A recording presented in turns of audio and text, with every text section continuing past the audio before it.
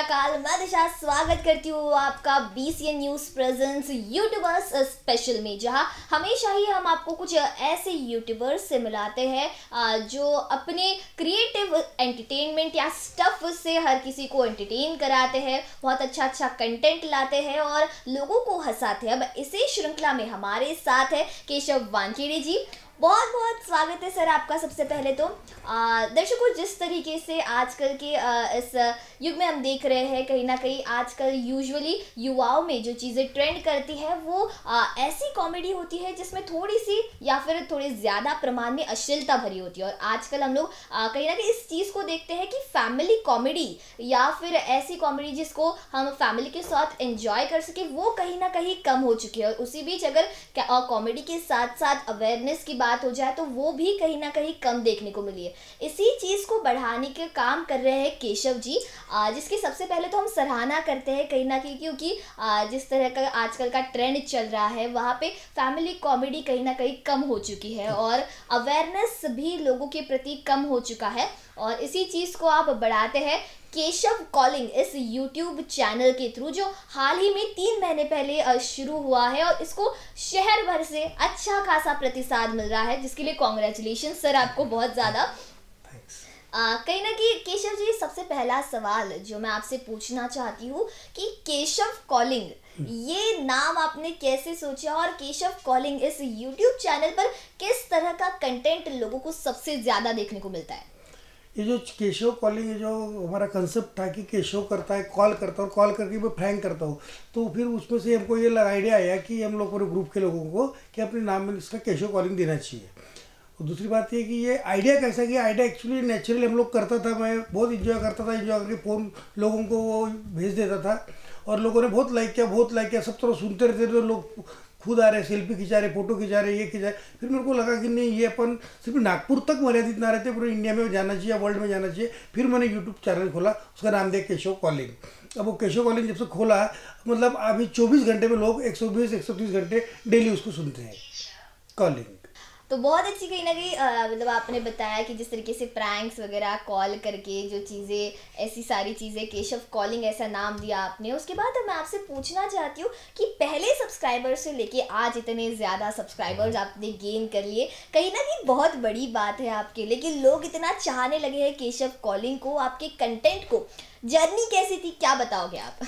बस easily journey थी शुरुआत में ऐसा लग रहा था कि मतलब ये सब करके थे और एक्चुअली इसमें से आगे बढ़ना प्रोफेशन या फिर लाइफ बनाना ये मेरा मोटू कभी नहीं था अभी भी मोटू नहीं है। बट लोगों को बहुत अच्छा लगता है लोग दूर दूर से आते खूब हँसते कहीं शेगाव जाते शिरडी जाते वो वो पूरे फैमिली के साथ कार में सुनते और मेरे को आके बताते हैं वीडियो कॉलिंग करते। मेरे को बहुत ज़्यादा अच्छा लगता है रिस्पॉन्स अच्छा मिल रहा है सब्सक्राइबर बढ़ रहे हैं या व्यूवर्स बढ़ रहे हैं आगे में अपने को इसमें और क्या हो जाएगा इसके बारे में उतना कोई प्लानिंग है नहीं। बट लोग हँसते रहे खेलते रहे और छोटी छोटी जो बातें जो लोगों के दिमाग में नहीं आती।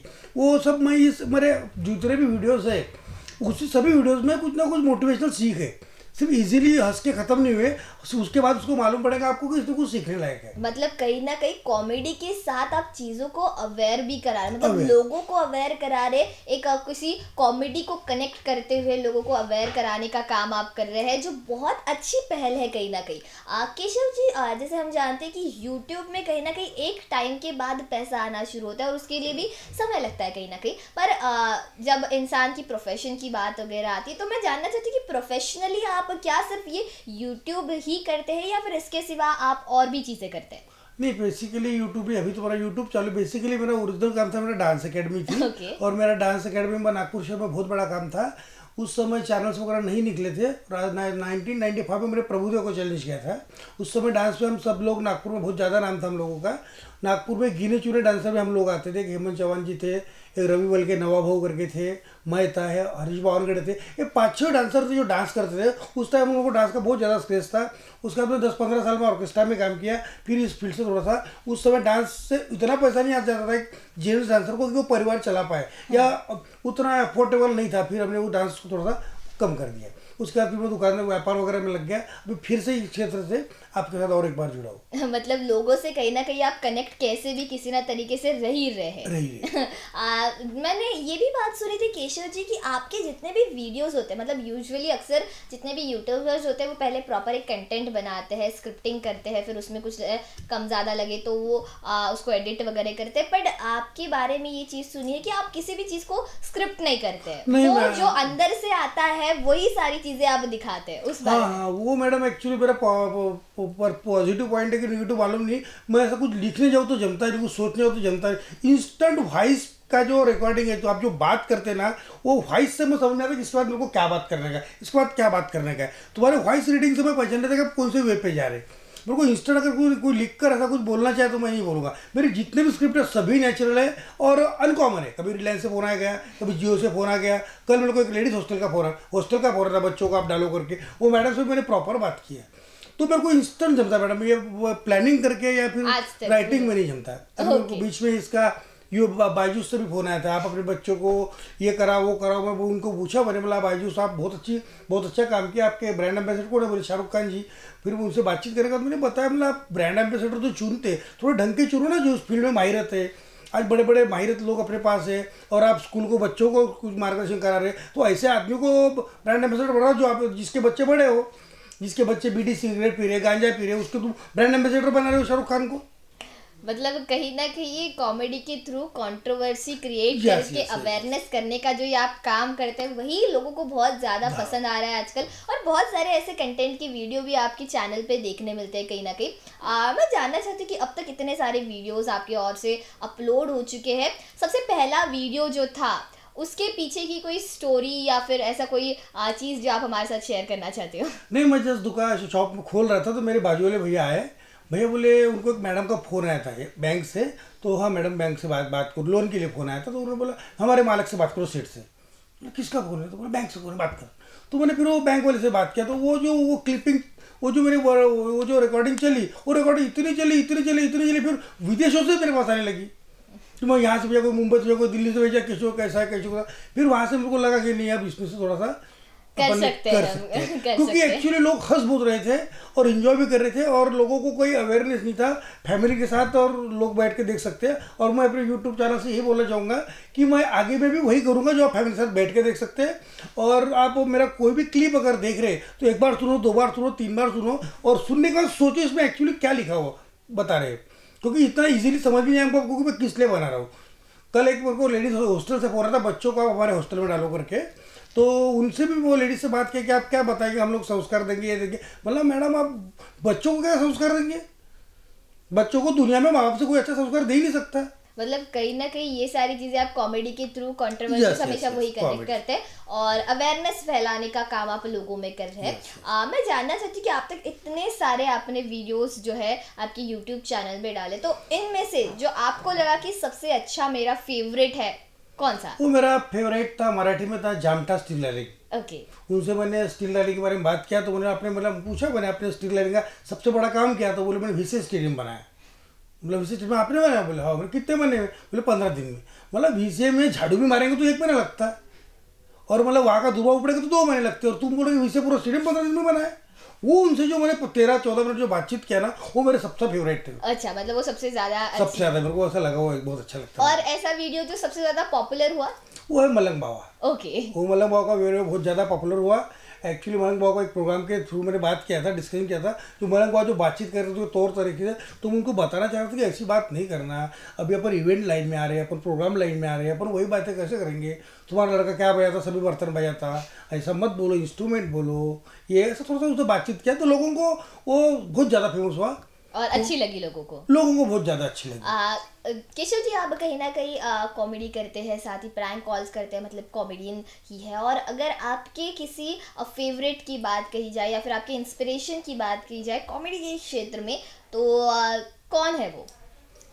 इस यूट्यूब पे तो नहीं है जो इसमें कॉमेडी में साजिद कुरेशी हमारे ऑर्केस्ट्रा के एंकर भी थे और मिमिक्री आर्टिस्ट भी थे, मैं उनको आदर्श मानता हूँ। वो इंस्टेंट पैदा कर देते कॉमेडी कोई भी कोई भी वर्क रहे, कोई भी विषय रहे सब्जेक्ट नहीं रहे रहे, वो साहित्य पुरुष में प्रेजेंस ऑफ़ माइंड हो पट से उस कॉमेडी को क्रिएट कर देते थे। तो वो वो सब सब चीज़ें सीखा मैंने और ये सब गुण अभी मेरे में भी आ गए। Okay. मेरे में कोई सब्जेक्ट नहीं होना कोई विषय नहीं होना कोई एटमोसफियर नहीं होना मैं एटमोसफियर क्रिएट करके सब्जेक्ट लाके भी मिमिक्री कर सकता हूँ स्पॉन्टेनिटी मतलब कहीं yes. ना कहीं स्पॉन्टेनिटी और ऑब्जर्वेशन ही कई ऐसी चीज़ें होती है जो एक कॉमेडियन में ज़रूरी होती है मतलब अगर आप में ऑब्जर्वेशन आपका अच्छा रहे और स्पॉन्टेनियस आप अगर आप हो उस चीज़ को लेके ह्यूमरस पॉइंट से तो एक अच्छे कॉमेडियन कॉमेडियन आप बन सकते हो केशव जी आपसे ये जानना चाहती हूँ कि कहीं ना कहीं ये जो यूट्यूब चैनल आपने जब शुरू किया तब बहुत ऐसा अ, लोगों ने भी कुछ लोगों ने इसको अपोज भी किया होगा। पर कुछ लोग होंगे जो बहुत आपको सपोर्ट कर रहे हैं स्टार्टिंग से अब तक। तो ऐसा कोई ऐसा शख्स जिसने आपको अब तक सबसे ज़्यादा सपोर्ट किया है?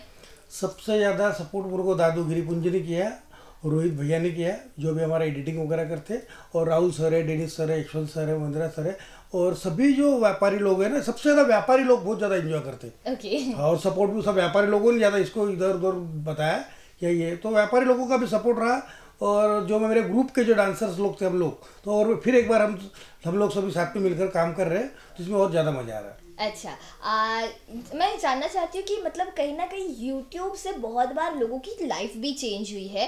तो यूट्यूब चैनल खोलने के बाद आपके लाइफ में क्या क्या चेंजेस है?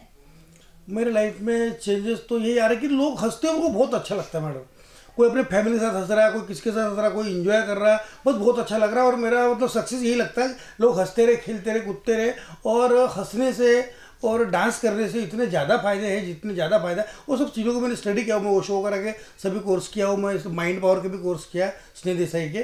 तो मेरे को उन चीज़ों को लोगों को बहुत फ़ायदा मिलेगा। ओके आ, मतलब हमेशा हर किसी का यूट्यूबर का जो रहता है ना केशव जी इंस्पिरेशन मतलब ये रहता है कि उसको इतना एम्बिशन रहता है कि मुझको इतना गोल है मेरा मुझे इतने सब्सक्राइबर्स चाहिए। आपका ऐसा एम्बिशन क्या है? आप आपके यूट्यूब चैनल के थ्रू क्या स्प्रेड करना चाहते हो? नहीं नहीं मेरा यूट्यूब में कोई एम्बिशंस नहीं कोई मकसद नहीं को कोई यूट्यूबर कोई बड़ा बनना नहीं है। बट मेरे से जितना हो सकता है लोग जब तक लाइक करेंगे तब तक मैं बनाते रहूँगा। आप हँसते रहो खेलते रहो और मुस्कुराते रहो। और वो दिन में ऐसा कभी भी समय मिला तो पाँच मिनट, दो मिनट डांस कर लिया करो। डांस और लॉफिंग, ये दोनों बहुत बढ़िया एक्सरसाइज है।